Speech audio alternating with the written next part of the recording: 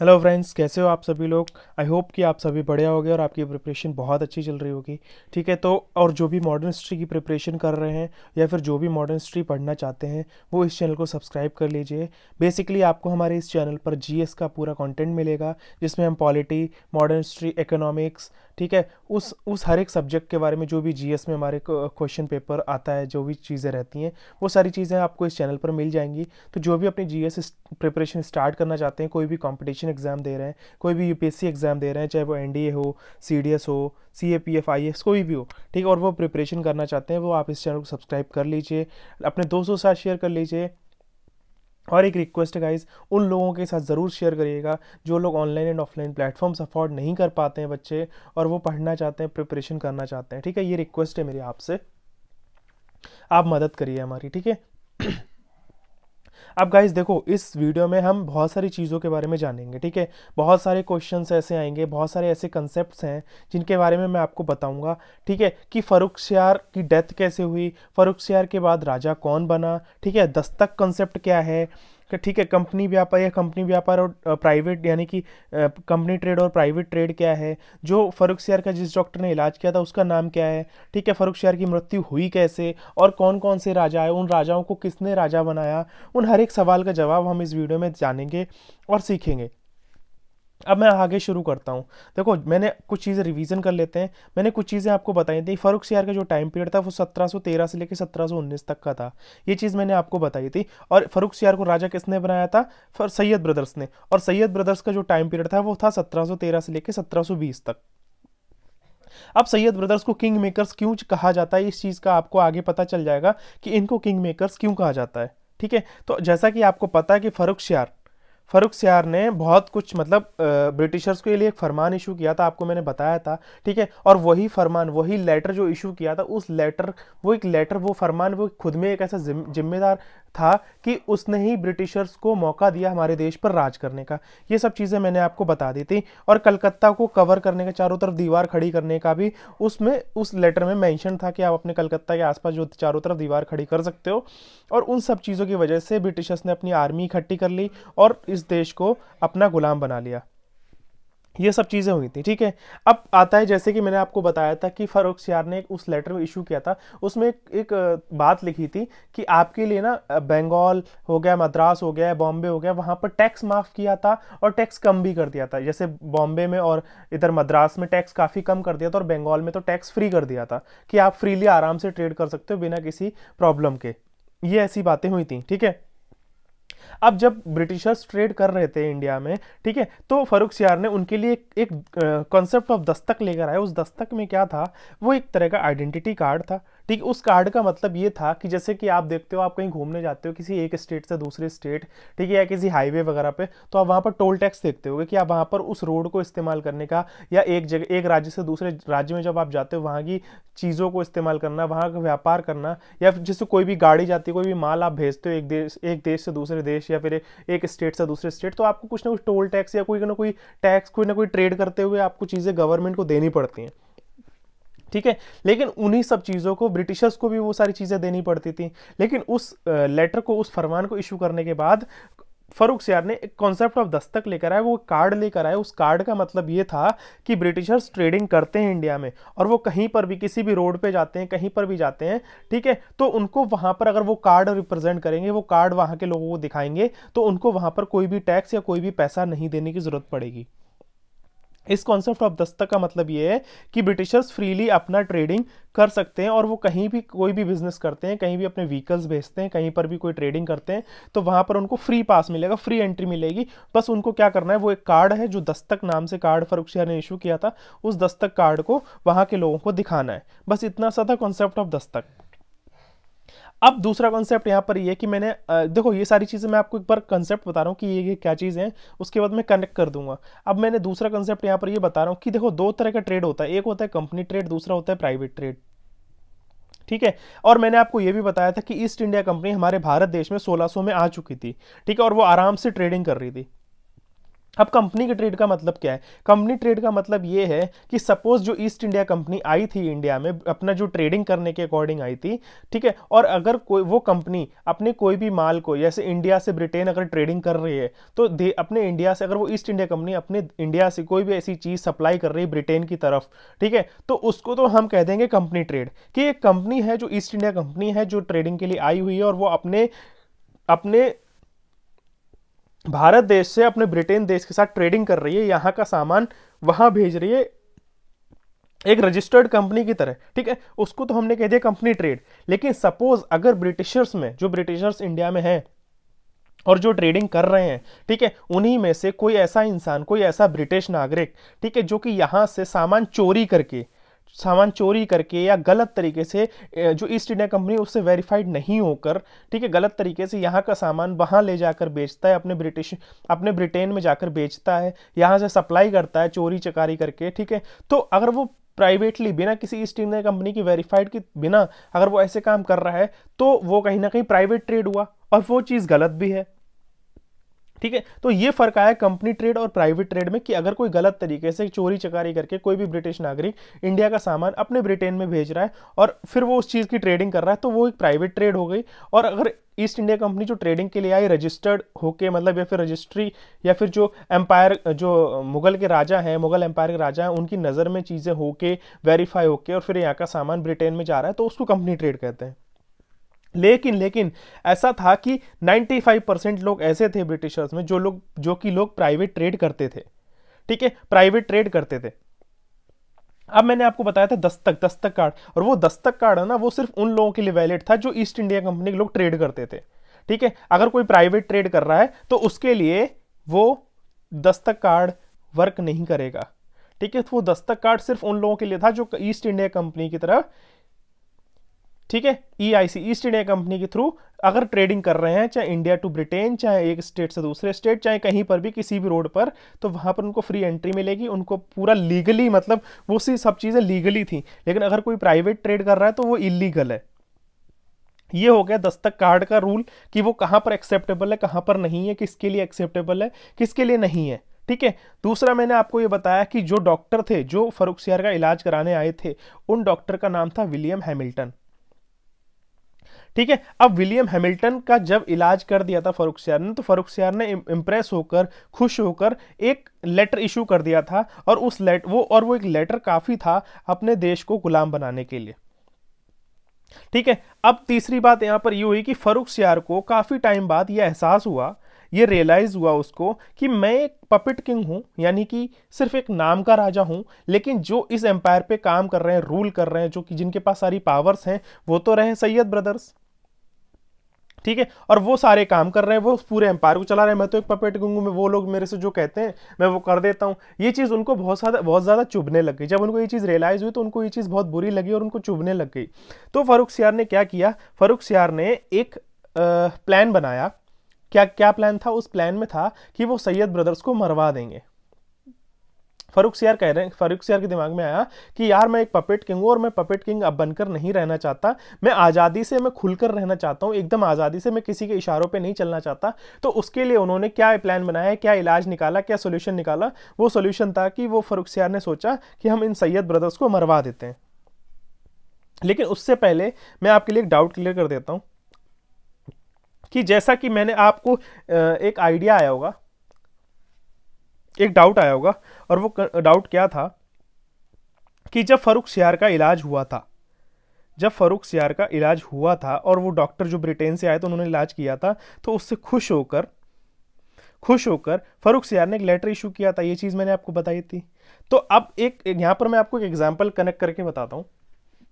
देखो फरूख अगर हम, मैंने आपको बताया कि फरूख सियार ने वो लेटर इशू करके ब्रिटिशर्स को दिया कि आप जाके अपनी करेंसी चलाओ, ठीक है? आप कलकत्ता के चारों तरफ़ दीवार खड़ी कर लो, ठीक है? आप फ्री ट्रेडिंग करो। ये चीज़ फरूख सियार के नाम पर मैंने आपको बताई। लेकिन पावर किसके पास थी? सैयद ब्रदर्स के पास, जो कि वज़ीर थे, मीर बख्शी थे, ठीक है? वो लोग उस एम्पायर को चला रहे थे। तो हमें फरूख शेयर के पास फिर पावर कहाँ से आएगी? तो इसका डाउट मैं आपको ये क्लियर कर देता हूँ। देखो, अपने देश में भी अगर आप इंडिया में देखते हो, जब डेमोक्रेटिक की बात करते हैं या फिर नॉर्मल कनेक्ट करके आप देखो कि काम तो सारे प्राइम मिनिस्टर करता है। जैसे अपने नरेंद्र मोदी जी हैं, सारे काम तो कौन कर रहा है? नरेंद्र मोदी जी कर रहे हैं। लेकिन बहुत सारी ऐसी चीज़ें होती हैं जो जिस पे काम प्राइम मिनिस्टर करता है, लेकिन वो किसको रिप्रेजेंट करता है? प्रेसिडेंट को। मतलब काम तो प्राइम मिनिस्टर करेंगे, लेकिन उसका नामकरण कहते हैं ना कि भाई ये प्रधान मतलब राष्ट्रपति के नाम से ये चीज़ निकली है। तो उसका रिप्रेजेंटेशन प्रेसिडेंट कर रहे हैं, लेकिन काम प्राइम मिनिस्टर कर रहे हैं। तो सेम उसी तरह से कि नाम तो फरूख शेयर का था कि मैंने आपसे कहा फरूख शेयर ने वो लेटर इशू किया। लेकिन उसके पीछे जो कंसर्न था, उसके पीछे जो काम करने का हाँ थी उस लेटर को इशू करने की, उसके पीछे जो कंसर्न था सैयद ब्रदर्स का, वो सैयद ब्रदर्स का था। देखो वो उन दोनों का ही कहीं ना कहीं मिली भगत थी, वो लोग दोनों मिलकर ये चाहते थे कि ठीक है, अगर हम ब्रिटिशर्स की मदद करेंगे तो उसके बदले में ब्रिटिशर्स हमें पैसा देंगे। क्योंकि ऑब्वियसली मुगल एम्पायर काफ़ी ज़्यादा कमज़ोर पड़ चुका था। ठीक है? तो उन दोनों के, यानी कि सैयद ब्रदर्स और फरूख फरुखशियार दोनों के मन में ये चीज़ आई कि ठीक है, इस चीज़ को लेकर हम ब्रिटिशर्स को कुछ अच्छी चीज़ें देते हैं, उसके बदले में ब्रिटिशर्स हमें पैसा भी देंगे, हमारे पास पैसा भी आएगा। तो इस लालच में भी उन दोनों के कंसर्न के साथ ये चीज़ें इशू हुई थी। तो सिर्फ़ फरूख शियार ने अगर ये लेटर इशू किया है तो ऐसा नहीं है, दोनों का, यानी कि सैयद ब्रदर्स की भी उसमें हाथ ही कंसर्न था। ठीक है? अब मैं आपको क्या बता रहा था कि जब फरूख शियार को यह पता चला यह रियलाइज़ हुआ कि मैं एक पपेट किंग हूँ और मैं एक पपेट किंग बनकर नहीं रहना चाहता तो उन्होंने सैयद ब्रदर्स को मरवाने की सोची। और यह बात सैयद ब्रदर्स को पता चल चुकी थी। फरूख सियार ने सैयद ब्रदर्स को मरवाने के लिए प्लान बनाया, लेकिन यह बात सैयद ब्रदर्स को पता चल गई थी। अब क्या हुआ? सैयद ब्रदर्स गए। कहाँ गए? सैयद ब्रदर्स गए, किसके पास? कांटेक्ट किया उन्होंने मराठास से। मराठास में एक पेशवा थे, बालाजी विश्वनाथ। और ये बालाजी विश्वनाथ पेशवा थे मराठाज में, इन्होंने इनसे बातचीत करी और सैयद ब्रदर्स ने उनसे, बालाजी विश्वनाथ से कहा कि हमने आपको मुगल एम्पायर में एक डेक्कन एरिया दिया था, जिसकी हमने चौथा सरदेश मुखी आपको दी थी। तो बालाजी ने कहा, जी, बिल्कुल ठीक है, दी थी। तो सैयद ब्रदर्स ने कहा कि हमने जो एरिया दिया था, उस एरिया को हम बढ़ा सकते हैं मतलब आपको ज़्यादा ज़मीन दे सकते हैं मुगल एम्पायर में। मतलब ज़्यादा सरदेश मुखी और चौथ दिलवा सकता हूँ मैं आपको। तो विश्व, बालाजी ने कहा, भाई, कैसे उसके लिए मुझे क्या करना पड़ेगा? तो बाला सैयद ब्रदर्स ने कहा कि आपको अगर ज़्यादा एरिया चाहिए, ज़्यादा सरदेश मुखी और चौथ चाहिए तो आपको फरुख शियार को मारना होगा। ठीक है तो सैयद ब्रदर्स ने बालाजी विश्वनाथ से डील करी कि हम आपको ज़्यादा चौथ और सरदेश मुखी देंगे, ज़्यादा एरिया देंगे मुगल एम्पायर में, उसके बदले आपको फरुख शियार को मारना होगा। और बालाजी ने ये बालाजी विश्वनाथ जो थे, उन्होंने ये चैलेंज या फिर ये जो डील थी वो एक्सेप्ट करी और बाला फरुख बालाजी ने फरुख सियार को 1719 में मार दिया। इस तरह से फरुख सियार की डेथ हुई। ठीक है? तो फरुख सियार को मारा गया है किसके द्वारा? बालाजी विश्वनाथ के द्वारा। सैयद ब्रदर्स ने ये डील करी थी मराठास के एक पेशवा थे, बालाजी विश्वनाथ के साथ। तो 1719 में फरुख शहर की डेथ हो चुकी थी। और सैयद ब्रदर्स तो मैंने आपको बताया ना कि फरूख शेयर का जो टाइम पीरियड है वो 1713 से लेके 1719 तक का रहा। अब इसके आगे की कहानी क्या है? आफ्टर दैट आपको पता है कि फिर भाई वो जो मराठा साथ डील हुई थी तो उसका मतलब कि सैयद ब्रदर्स ने उनके लिए वो जो चौथा सरदेश मुखी है या फिर जो डेक्कन एरिया है वो बढ़ा दिया, यानी कि जगह ज़्यादा दे दी। तो ये सब चीज़ें रिप्रेजेंट कर रही थी कि मराठास का राइज कैसे हो रहा था? मतलब मराठास राइज कैसे कर रहे थे? मराठास अपने मुगल एम्पायर पे कैसे कब्जा बना रहे थे धीरे धीरे ठीक है? ये सब चीज़ें हुई मराठास के राइज होने की। यानी मराठास कैसे ऊंचाइयों पे उठ रहे हैं, कैसे मुगल एम्पायर पे कब्जा बना रहे थे अपना। ठीक है? फिर आफ्टर फरुख शाह जब फरुख शाह की डेथ हो गई, उसके बाद सैयद ब्रदर्स ने रफ़ी उद दराजत को राजा बना दिया। ठीक है, रफी उद दराजत एक राजा थे जो कि फरुखशियार की डेथ के बाद 1719 में ही राजा बने रफी उद दराजत। और रफी उद दराजत ने भी क्या किया, एक लेटर इशू कर दिया, एक फरमान इशू कर दिया। किस, सॉरी, किसके लिए? मराठास के लिए। ठीक है, अब रफी उद्दराजत 1719 में राजा बने, लेकिन रफी उद्दराजत ने भी एक लेटर, एक फरमान इशू किया किसके लिए? मराठास के लिए। देखो, अगर मैं फरूख शहर की बात करूँ ना कि मतलब सॉरी मैं अगर किसी राजा की बात करता हूँ कि रफ़ी उद्दर राजत हो गए या फिर फरूख शहर हो गए इसके बाद के जो भी राजा गए, ये सारे के सारे पपेट किंग थे। तो अगर मैं राजा का नाम लेता हूँ कि इन राजा ने ये फरमान इशू किया तो उसके पीछे उसके पीछे सैयद ब्रदर्स की भी हाँ होती थी, सैयद ब्रदर्स का भी कंसर्न होता था। ठीक है? तो रफ़ी उद्दराजत ने भी क्या किया? एक फरमान इशू किया मराठास के लिए। उस उस फरमान में क्या था? कि उन्होंने औरंगाबाद बिरार, बिदार, बीजापुर, कर्नाटका, हैदराबाद और खानदेश। ये जगह भी चौथ सरदेशमुखी, इन जगहों पे भी चौथ सरदेशमुखी मराठास को देना स्टार्ट कर दिया। ठीक है? और in in this, the Sayyid brothers और इसमें भी देखो, सैयद ब्रदर्स का कंसर्न था। और उसके बाद एक ही फरमान इशू कर गए तो उसके बाद रफ़ी उद्दराजत की भी 1719 में ही मौत हो गई। 1719 में ही राजा बने थे और 1719 में ही इनकी डेथ हो गई। और इनकी डेथ हुई थी किसकी वजह से? ट्यूबर क्लोसिस की वजह से, यानी कि टीबी की वजह से टीबी एक बीमारी, उसकी वजह से इनकी 1719 में ही डेथ हो गई थी। तो ये मैंने आपको बताया था, ये डेक्कन एरिया था जो पहले दिया गया था जहांदर शाह की ड्यूरेशन में, जो कि सैयद ब्रदर्स ने दिया था, और इसी एरिया को बढ़ाने के लिए, इसी एरिया को बढ़ाया होगा मराठास को देने के लिए, ठीक है? इसकी हिस्से को। तो सैयद रफ़ी उद्दराजत की भी सत्रह में ही मौत हो गई। अब इसके बाद क्या हुआ? रफ़ी उद्दराजत की जब डेथ हो गई तो उसके बाद जो राजा बने, वो बने रफ़ी उद्दौला वो भी 1719 में ही बन गए। और इनकी भी डेथ 1719 में ही हो गई थी। ठीक है? और लेकिन देखो रफ़ी उद्दराजत को भी सैयद ब्रदर्स ने राजा बनाया था और रफ़ी उद्दौला को भी जो राजा है ना, वो सैयद ब्रदर्स ने ही बनाया था। लेकिन रफ़ी उद्दौला की भी जो डेथ थी, वो 1719 में ही हो गई थी। और ये जो सैयद रफ़ी उद्दौला था, ये तीसरा राजा था जो कि सैयद ब्रदर्स के द्वारा बनाया गया था। और इसीलिए सैयद ब्रदर्स को कहा जाता था किंग मेकर्स। तो अभी तक तीन राजा बन चुके थे सैयद ब्रदर्स की मदद से। तो रफ़ी उद्दौला रफ़ी उद्दौला का क्या हुआ? रफ़ी उद्दौला दो तीन महीने चेयर पर रहे। उन और दो तीन महीने ही रहे, उसके बाद उनकी डेथ हो गई थी, लेकिन उस दो तीन महीने में भी रफ़ी उद्दौला क्या हुआ? उस टाइम पीरियड में दो तीन महीने के टाइम पीरियड में ही, वो अपने आप को एक टाइटल दे दिया, एक नाम दे दिया, और वो नाम क्या था? शाहजहां टू। शाहजहां टू करके एक नाम खुद को दे दिया और टाइटल दे दिया। लोग हंसने लग गए, लोग बोले, पागल हो गए का? अपना कंपैरिजन शाहजहां से कर रहा है। तो ये सारी चीज़ें हुई कि रफ़ी उद्दौला भी शाहजहां टू का उन्होंने खुद को टाइटल और नाम दे दिया था। दो तीन महीने चेयर पर रहे राजा की, उतने में वो पागल हो गए थे। मतलब पागल मतलब वही कि अपने आप को टाइटल देने लगे, नाम देने लगे और खुद को कंपेयर करने लगे शाहजहां से कि मैं शाहजहां टू। ठीक है तो रफी उद्दौला की भी जब दो तीन महीने बाद सत्रह में ही डेथ हो गई, उसके बाद जो राजा बने, वो बने मोहम्मद शाह रंगीला।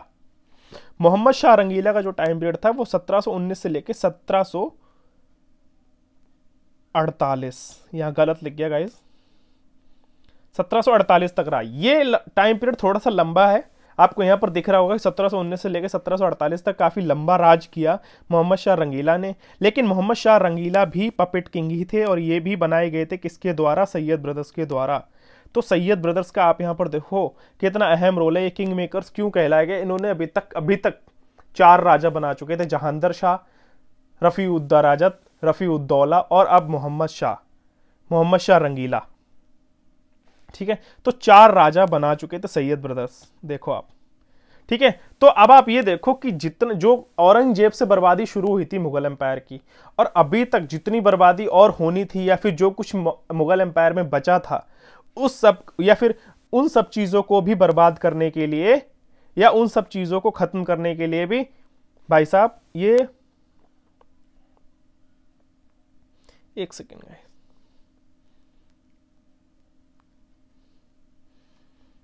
ठीक है?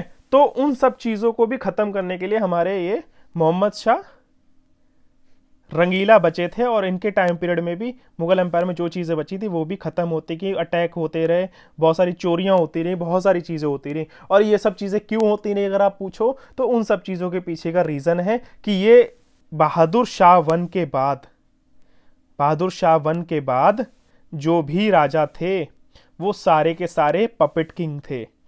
ध्यान रखना कि बहादुर शाह ये देखो, मुगल एम्पायर की बर्बादी और क्यों होती गई या इतनी जल्दी जल्दी राजा क्यों बदलते गए, मरते गए, सब कुछ होता गया, इसके पीछे का सिर्फ़ रीजन ये था कि बहादुर शाह वन के बाद जो भी राजा मुगल एम्पायर के बने, वो कहीं ना कहीं फुल अयाश थे, उनको दारू, शराब, यही सब चाहिए था, लड़कियों का डांस चाहिए था, उनको एम्पायर से कोई मतलब नहीं था, कोई लेना देना नहीं था, और वो राजा बनाए गए थे किसके द्वारा? सैयद ब्रदर्स के द्वारा, वज़ीर बना मतलब वज़ीर ने उनको राजा बनाया। तो अब देखो उनके पास कहाँ इतनी बुद्धि थी, कहाँ इतनी समझ थी, अंधे थे वो सिर्फ़ दारू और शराब में। ठीक है, इस वजह से और जो कुछ बर्बादी बची थी मुगल एम्पायर की, वो भी इस मोहम्मद शाह के टाइम पीरियड में खत्म होता गया मुगल एम्पायर और वो इस चीज़ से अवेयर भी नहीं थे। इसका एग्ज़ाम्पल आप यहाँ पर ये भी देख सकते कि वो इतने पागल थे कि रफ़ी उद्दौला ने तो भाई साहब खुद को दो तीन महीने के अंदर ही अपने आप को टाइटल दे दिया शाहजहाँ का। खुद को कंपेरिजन में शाहजहाँ के बराबर खड़ा कर दिया।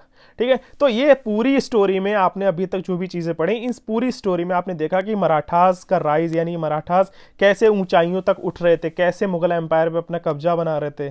ठीक है? और ये सब चीज़ें आपने सत्रह सौ अड़तालीस तक के टाइम पीरियड में हम चल रहे हैं और इस टाइम पीरियड में आपने ये सारी चीज़ें देखी।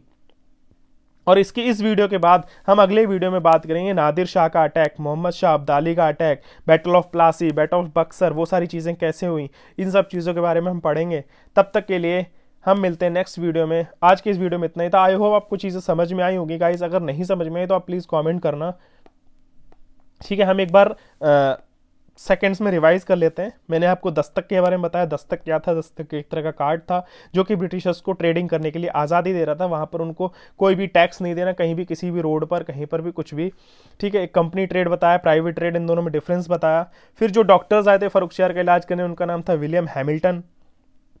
ठीक है, फरुख शहर की डेथ कैसे हुई? बालाजी विश्वनाथ के द्वारा मरवाया गया था। सैयद ब्रदर्स ने बालाजी विश्वनाथ, जो कि मराठास के एक पेशवा थे, उनसे एक डील करी थी कि हम आपको मुगल एम्पायर में चौथा सरदेशमुखी और ज़्यादा देंगे। उसके बदले में आपको फरुख शहर को मारना होगा और सत्रह सौ उन्नीस में फरुख शहर को मारा गया। उनकी डेथ करी, उनके, उनको मार दिया गया। और फरुख शहर के बाद रफ़ी उद्दराजत जो कि बनाए गए थे किसके द्वारा? सैयद ब्रदर्स के द्वारा राजा बनाए गए सत्रह सौ उन्नीस में ही। रफ़ी उद्दराजत की ट्यूबर क्लोसिस की वजह से डेथ हो गई। लेकिन उससे पहले रफ़ी उद्दराजत कुछ फरमान इशू कर गए थे मराठास के लिए, जिसमें वो इन जगहों पर स्वदेश और सरदेश मुखी और चौथ दे, देते, दे गए। ठीक है?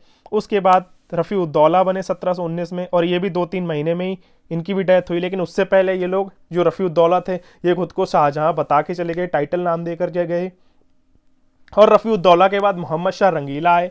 ठीक है? मोहम्मद शाह रंगीला का सत्रह सौ उन्नीस से सत्रह सौ अड़तालीस तक का जो टाइम पीरियड रहा, उसके बाद ये भी सैयद ब्रदर्स के द्वारा राजा बनाए गए थे। ठीक है? तो जो भी और भी जो चीज़, जो बर्बादी बची थी कि भाई जो जो चीज़ें मुगल एम्पायर में और थोड़ी बहुत बची थी, वो भी मोहम्मद शाह के टाइम पीरियड में ख़त्म होती चली गई और इस तरह से मराठाज ऊंचाइयों तो उठते चले गए, मुगल एम्पायर पे कब्जा करते चले गए और उसके बाद हम नादिर शाह, मोहम्मद शाह अब्दाली का अटैक कैसे हुआ, मुगल एम्पायर पे वो सारी चीज़ें भी पढ़ेंगे। Battle of Buxar battle of Plassey battle of जो भी थे कार्नेटिक वॉर हम वो सारी चीज़ें पढ़ेंगे नेक्स्ट वीडियो में। मिलते हैं तब तक के लिए और आप अपनी प्रिपरेशन लगे रहो। और प्लीज़ गाइज़ सब्सक्राइब ज़रूर कर देना, एक रिक्वेस्ट है मेरी आपसे। मैं बस ये चाहता हूँ कि ये वीडियोज़ उन लोगों तक पहुँचें जो पढ़ना चाहते हैं। Thank you have a good day and bye